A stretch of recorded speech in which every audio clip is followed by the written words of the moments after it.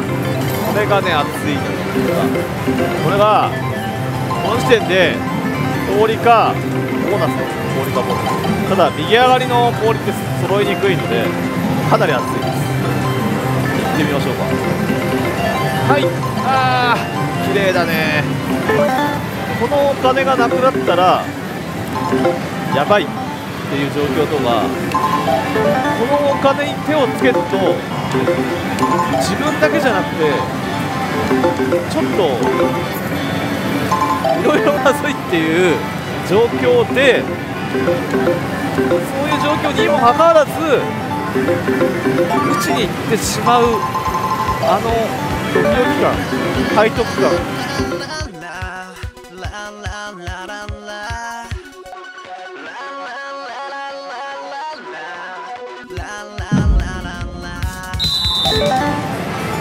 4号機と5号機の決定的な違いとして挙げられるのは500カウンターっていうのが存在なんですけど500カウンターって何をしてるかっていうと500のその払い出しを調整する役割があるんですだからこのカウンターがあることによって例えば風鈴とか氷とかこういうものを全く取りこぼさないで打ってると500カウンターが子役を取りこぼしてないから子役のその確率っていうのを4号機の方が変動させてよかったんですね。ある一時期からダメになったんですけどそれ良かったんで、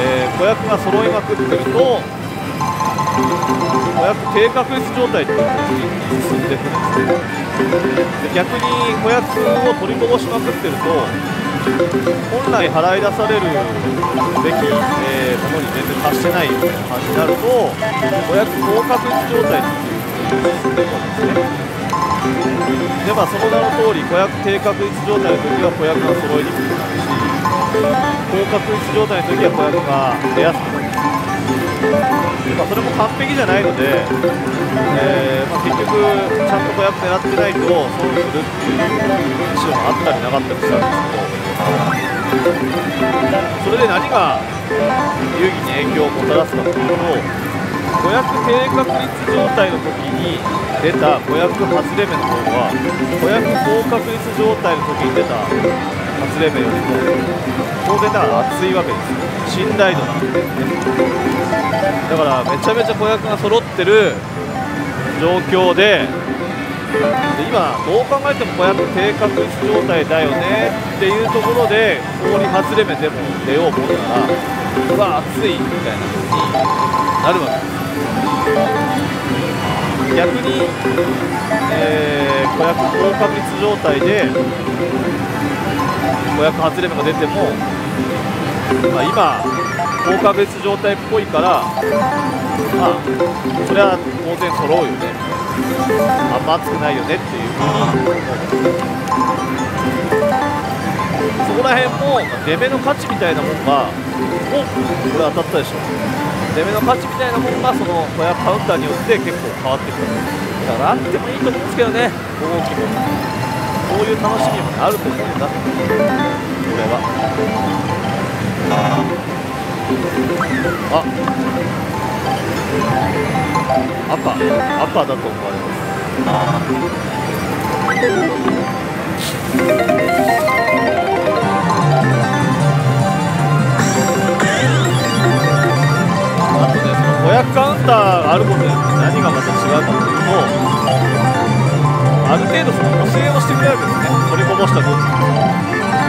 将来的にね。なのである程度その自由に出目を狙えるんですよ。で5号機の場合も取りこぼしたらその時点で丸損なんで例えば氷1回取りこぼしたらもう15枚の損は一生返ってこないわけです何も変わんないんで500角単純に15枚損したねっていうお話で終わっちゃうんですけどその500カウンターによって確率を変動させることによって将来的にはまあ何割かは戻ってくるんです。よだから例えばいつもだったら左上段バー狙いで打ってるけどちょっと子役取りこぼすの覚悟で違うとこ狙ってみるかとかね。そういうような楽しみ方ができるというわけでござ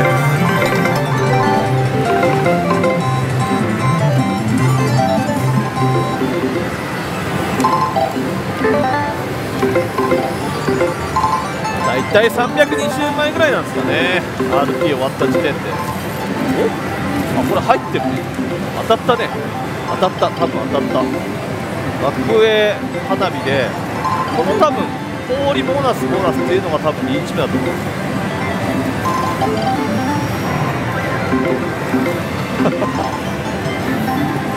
ですで枠上バーなんで花火はないとだからドンピックかアパナナかだと思う。やってみます。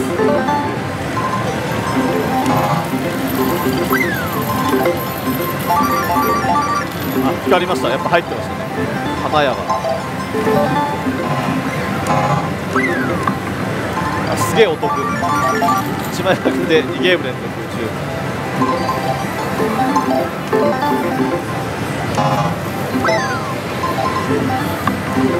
バナナか。おおびっくりした。つきました。いつまでも揃えねえから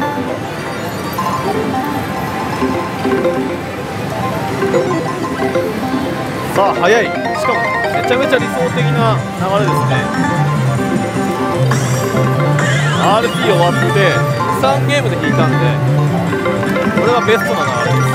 RP 中に引かす RP 終わった直後にれが一番値段が増えるパターンですましてグランドオープンとかでも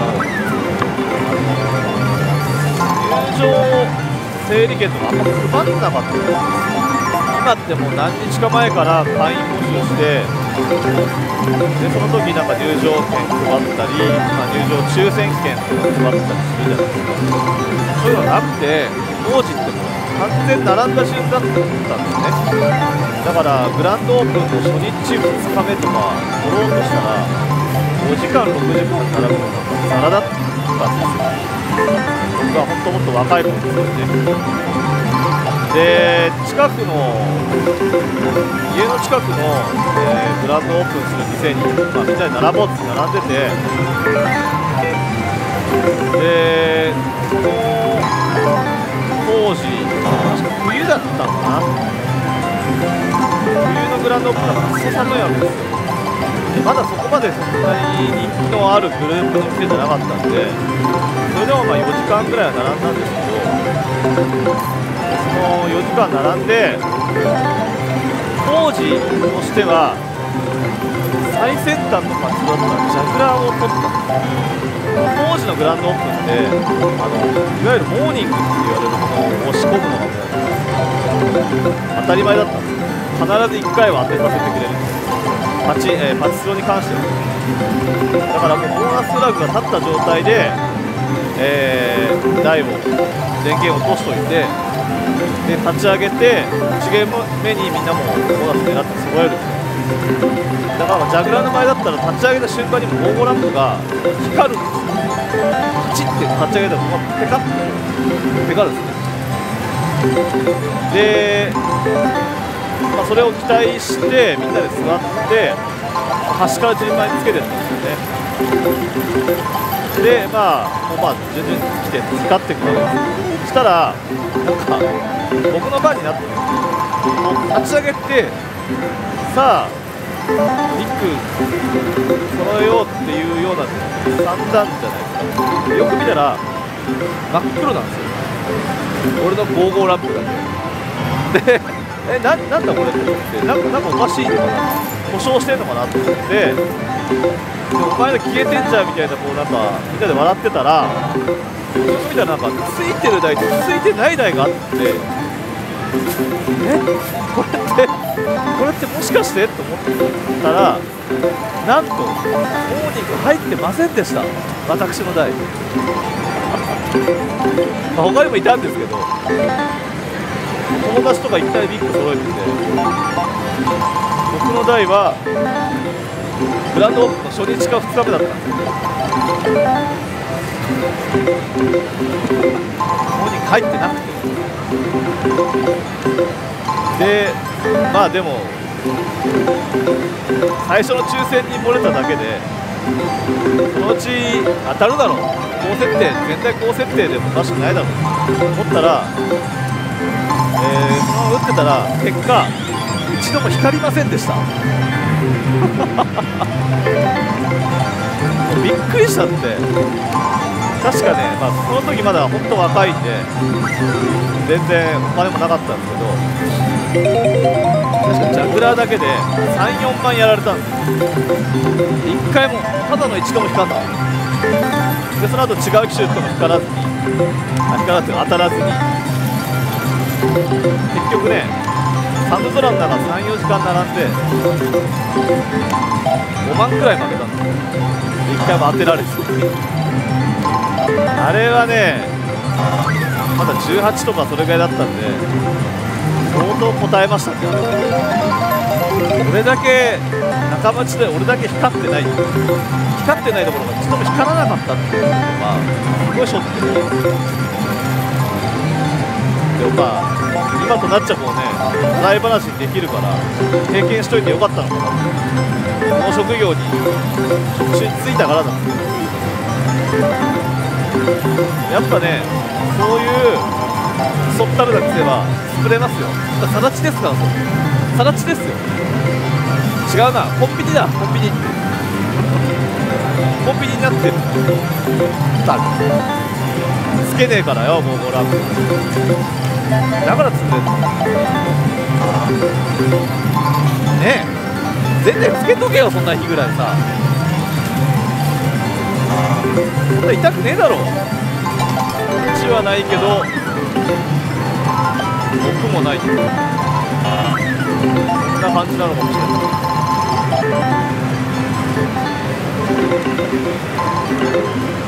ボーナス出現率がね今はあもだね1ぐらいになっちゃった。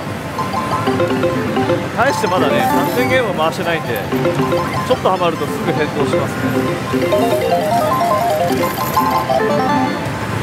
今日はまあ立ち回ろうとそもそも思ってたんで、まあ、この台に固執することもないかな。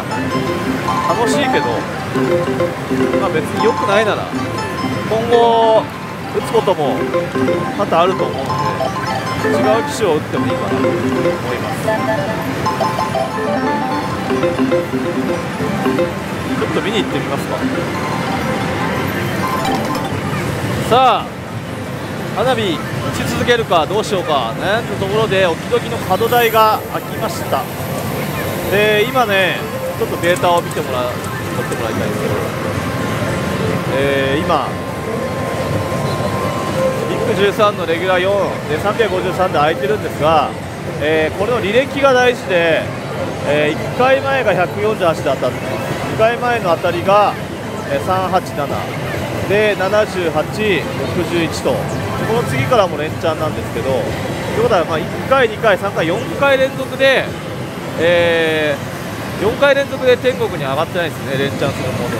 ということは今、通常 B というところにいる可能性が非常に高いと思われるのでその通常 B にいれば、えーボーナスを引ければその連チャンモードに上がる可能性が高いのでこれを連チャンするまでモード狙いでこれは打って。ます。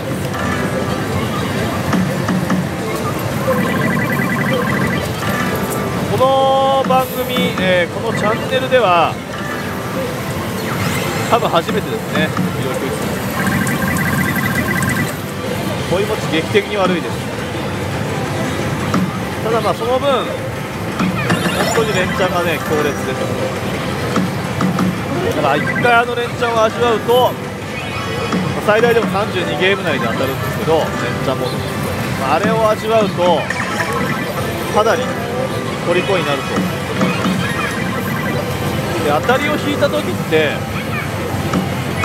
その当たりを引いた役を参照した上でフリーズ抽選を行うんですよ。フリーズ抽選を行うと一番上のモードにフリーズ抽選を行ってそれに当選すると、えー一番上のモードに行きます。フリーズすると一番目のものに行くと90%以上の割合で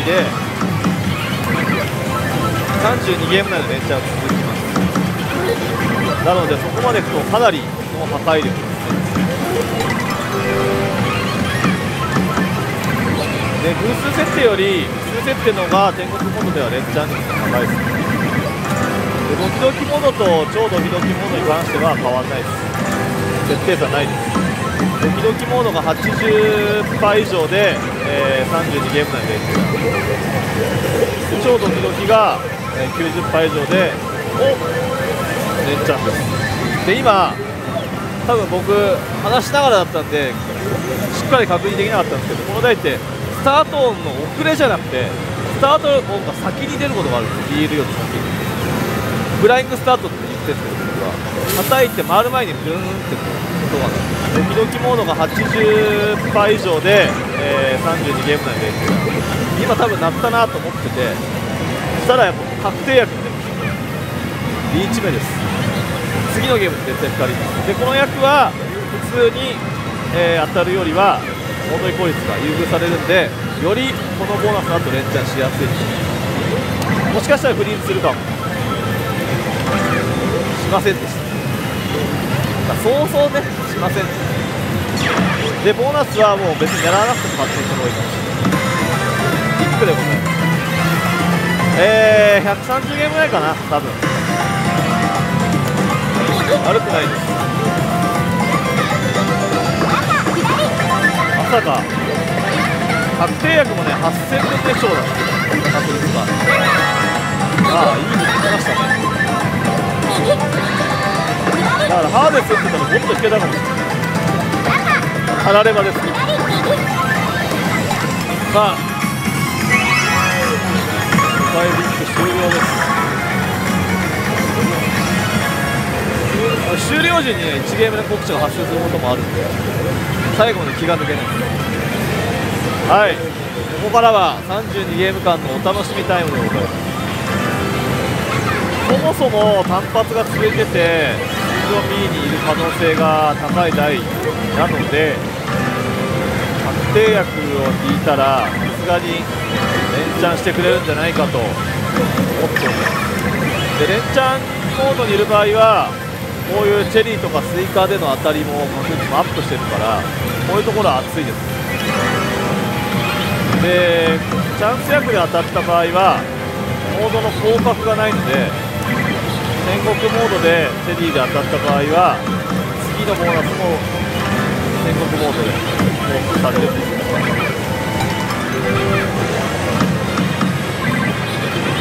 やばい。ラスト32ゲーム目ない。いやまずい。32ゲーム内の連チャンございませんでした。天国モード以上に上がってなかったってことですね。さっきの当たりで。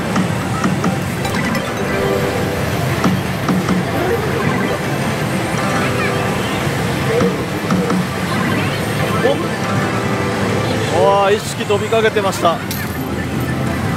あー危ない。危ない。一応持ち込んで当たりました。そしてビッグでございます。逆押しで中段7はビッグワンパンです。いや危ない。上がってくれよ頼むぞ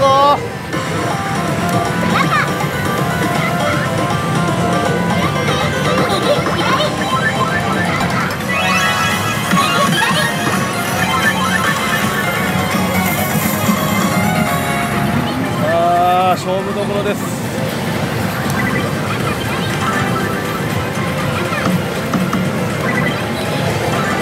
6連続で単発で終わるのか6回目のボーナスで上がったのか。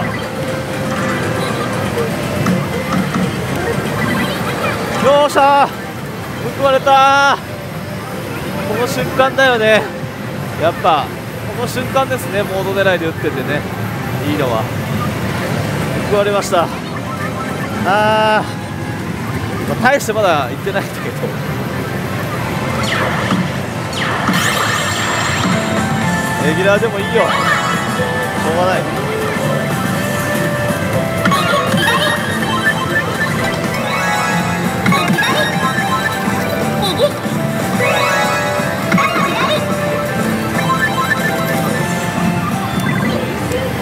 ああ伸びてくれよ。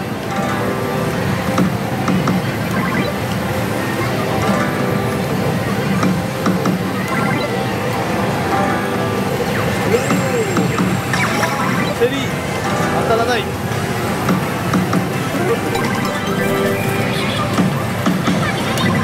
あーまずい。20超えた。一発落ちの可能性。大でございます。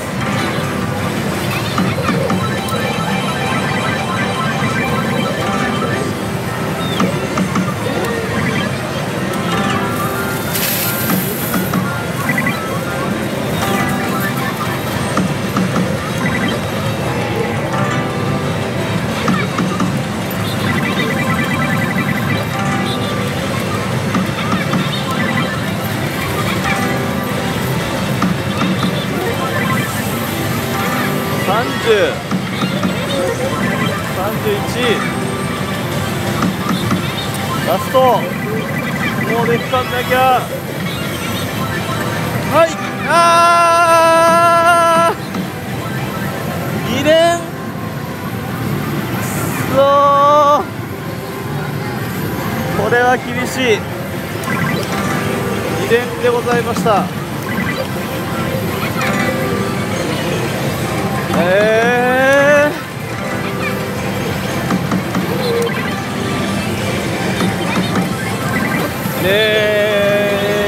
あ抜けたところでやめてもいいんですけど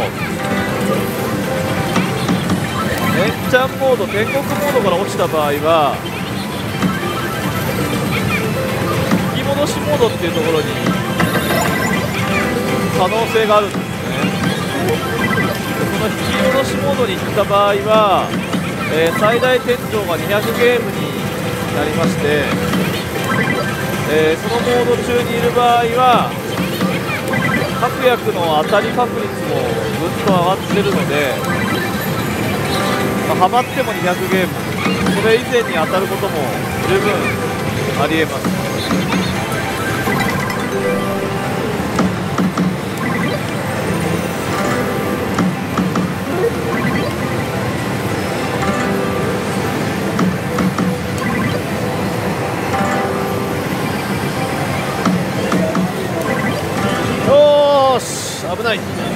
危ない。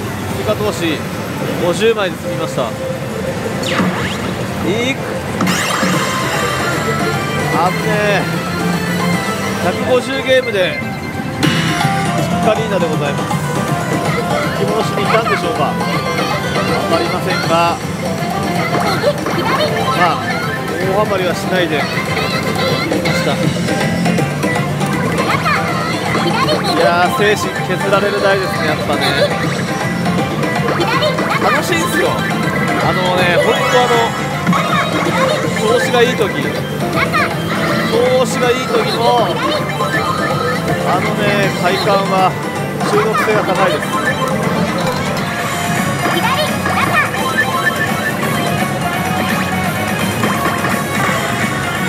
さあまた連チャンモードに。戻ってきてくれているのでしょうか。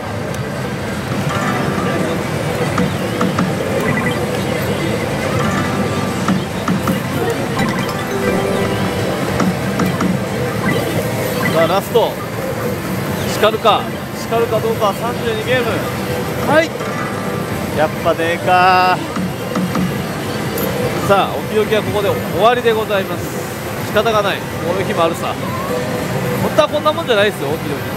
バリッバリに連チャンしますから。ね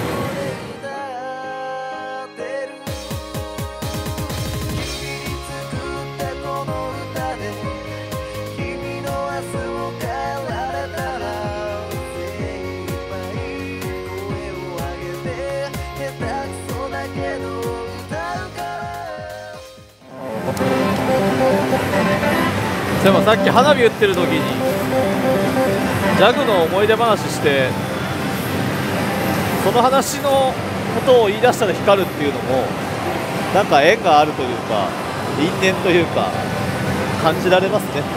あの時光らせらなくてごめんねみたいなことなのかもしれない。